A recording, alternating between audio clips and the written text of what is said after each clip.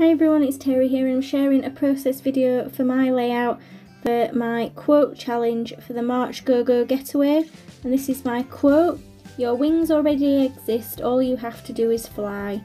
So I've used the fly um, kind of analogy and I'm going to use these butterflies. So I've um, used a frame that I'd already got cut out and then I've added some white cardstock to that and now I'm just going to fussy cut out a load of these beautiful butterflies from an older Maggie Holmes uh, crepe paper collection.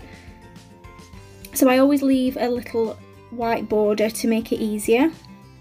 So there we have my butterflies cut out. Um, I'm going to, I think, have them kind of exploding out of the top of my photo. I've pulled out a couple of different photos that I might use. Um, and I'm going to make a, an envelope with this patterned paper um, using my envelope punch board to um, tuck my photo in and then have the um, butterflies kind of escaping out of it, so to speak.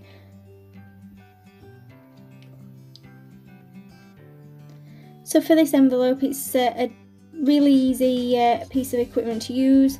Just a case of uh, working out what size I wanted it and then folding and punching out uh, the sections.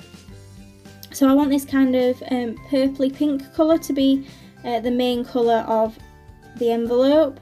And I'm going to use that photo I think which is me post run um, and this layout is going to document um, about me starting running and about how I didn't think I'd be able to do it. So I'm just adding some doodly lines to my envelope because I felt it kind of lost its definition a little bit with all the pattern uh, so I'm toying with the idea of using that other photo, but then decide to go with the uh, the one of me after a run. It was a cheeky little trip to Starbucks though after, so as a bit of a celebration for completing 5k.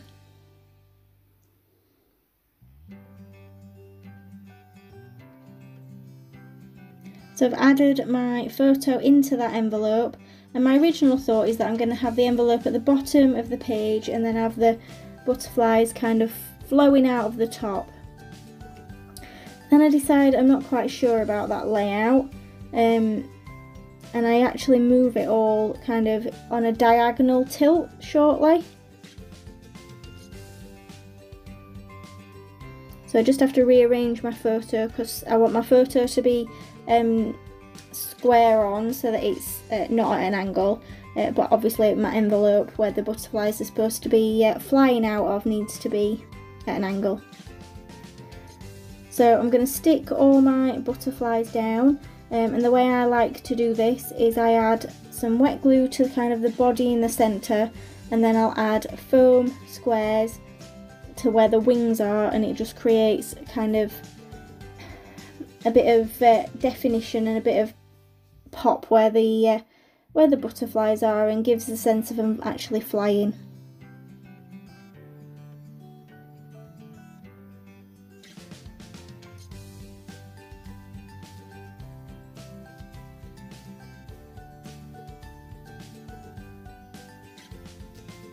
So just play around with the composition a little bit, uh, trying to decide where I want the butterflies. I want to mix up the colours, I don't want um, all the pinks together or all the blues um, and those two greens are different shades but they're different sizes. Um, so I'm just drawing briefly around where the envelope's going to go and now I'm drawing kind of tails coming off of the butterflies so kind of almost like flight paths. Um, so what I want to do is I'm going to draw very lightly on the page um, and then I want to stitch along each one um, and I'm going to use different coloured uh, embroidery threads that coordinate with the colour of the butterfly whose flight path it is. So some of them are straight paths, some of them are a bit curly. Um, I find it easier just to draw it on lightly with a pencil, um, do the holes and then you can rub it out.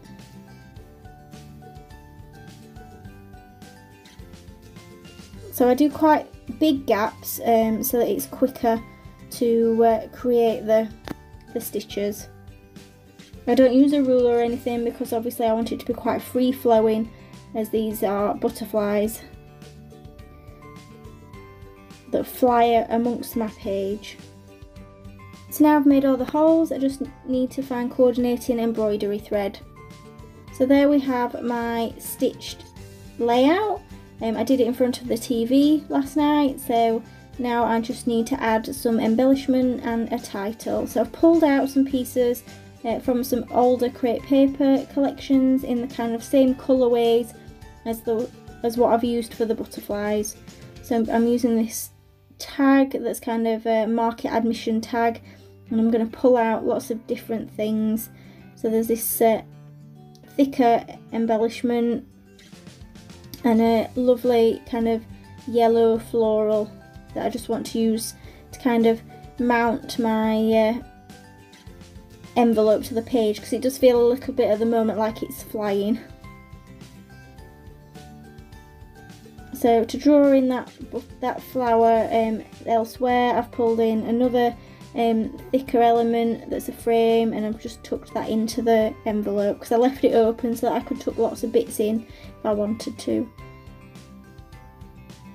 I'm just pulling out lots of different things, looking at what I've got. So I decide that my titles, I want to include this um, thicker word that's uh, glittery that says that's you. Um, and so I'm going to call it Be You that's kind of what I wanted to express on this page.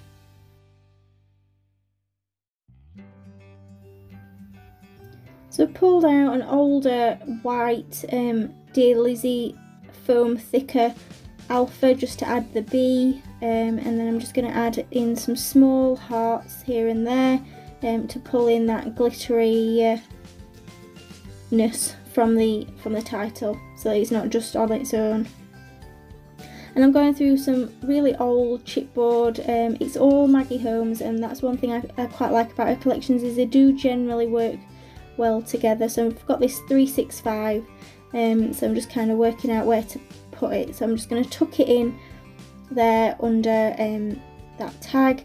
I don't mind that it's covering over my photo um, too much because I just need you to be able to see me. It's not about the coffee, um, it's about me. Pulled out some more stickers and I've got this little kind of green mint coloured heart uh, sorry, bow um, that came on that pack with the hearts as well. Um, and it's a nice, it's that same green that's in the butterflies at the top. So I just wanted to pull a bit of that down um, into the bottom right hand corner of the layout as well. So I've just tied in some blue thread in the top of, uh, of that just to add a bit of uh, interest. Otherwise uh, I can't stand something to have a hole in whether it be a tag or something. It just looks like it's meant to uh, dangle. So I pulled out a, a, little word sticker that says today. So I've just put that under my title. Um, and now I'm just playing about with what I want to do with that bit at the top. And I found this teacup little ephemera piece.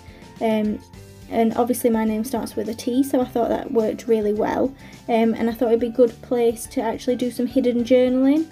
Ideally I should have thought about this um, before I started the layout uh, but it's kind of just how it progressed um, so I'm making it so that there's a little pocket that it can slide in behind my photo. So just finishing off with some yellow Nuvo drops and I'll do my journaling in private and that's my finished layout. Thanks for joining me.